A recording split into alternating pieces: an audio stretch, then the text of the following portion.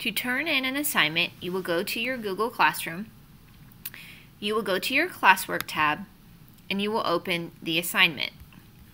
I'm going to open up this math assignment.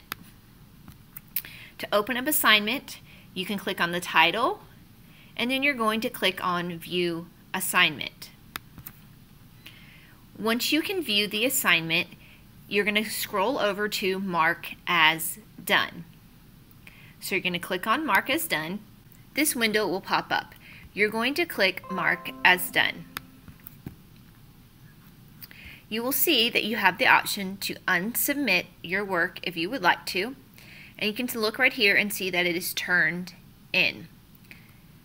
To view this assignment completed on your to-do list, you're going to click on your pancakes, scroll down to to do, and then you can click on done and see that you have turned in that assignment.